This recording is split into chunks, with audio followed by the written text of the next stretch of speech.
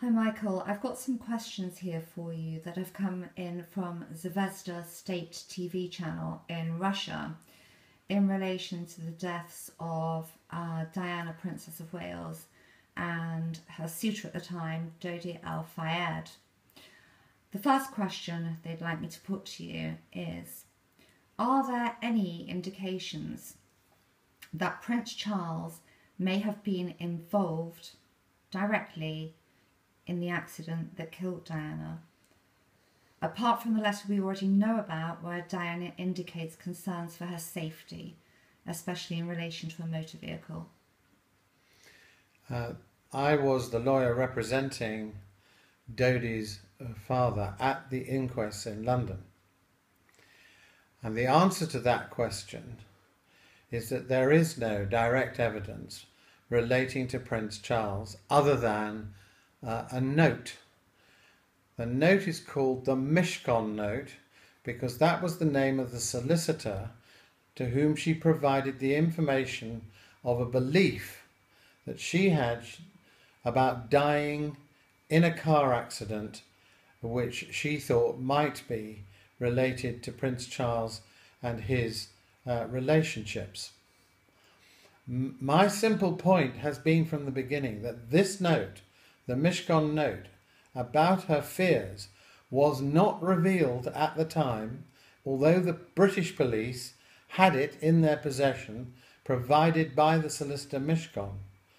And the question that has been posed, and I continue to pose, is there's no serious explanation as to why they did not hand that note immediately to the French police who were investigating the accident because if somebody dies in a way they have predicted and name certain individuals, the investigators would naturally want to, as it were, follow that up at the time. Following it up later is probably too late. And that's what should have happened, and it didn't. Okay, so we, we're all aware that Diana indicated in her note um, that there would be some accident, most probably in a car. How do you think she'd have known about that? Is there some chance that she may have found some evidence of that? Well, that is an interesting question as to why she had that fear. I think she had the fear because of the relationship that she had with the royal family as a whole and because of uh, Prince Charles's own relationship with Camilla. She felt that she was being ousted.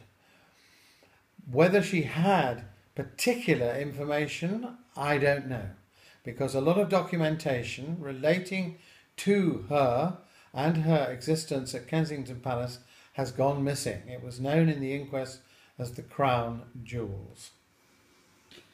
Would it be fair to say, though, that if uh, the royal family and Prince Charles himself were directly involved in some way in Diana's death, um, that the notes Diana had left behind would surely have been found by people going through her things after she died and would surely have been removed.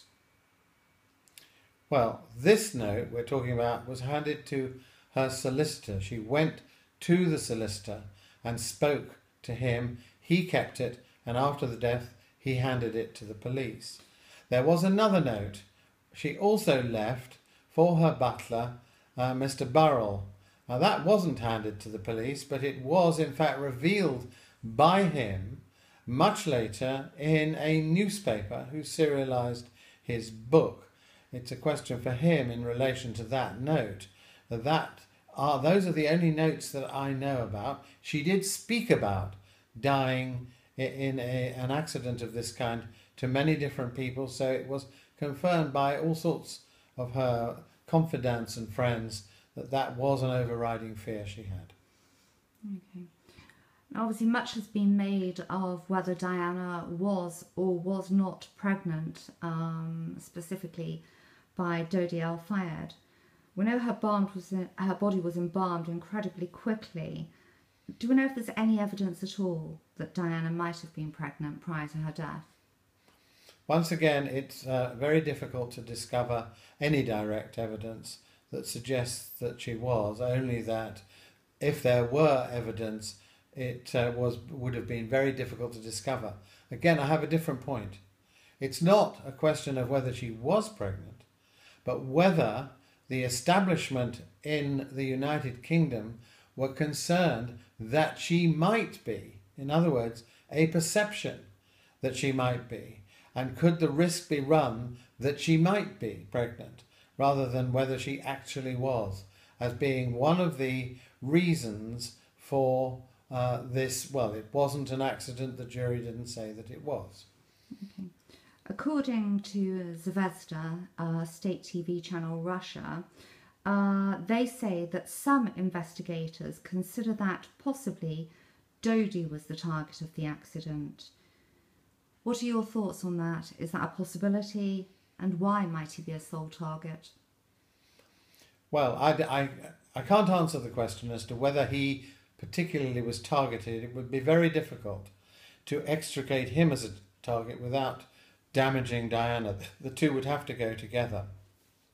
The real point here is that the relationship between Dodi and Diana was undoubtedly uh, one that disquieted the establishment because the thought of a Muslim becoming, as it were, heir to the throne or in, in any, that is, if there were, uh, were to be a birth, or a relationship with a Muslim family as part of the royal family although she'd been herself, as it were, uh, demoted. She was no longer Her Royal Highness. So I think it was the nature of the relationship which did not they did not want to stain on, on the reputation. Michael Mansfield QC, thank you very much. This is Yvette Greenway reporting for Zvezda State TV channel, Russia. Thank you.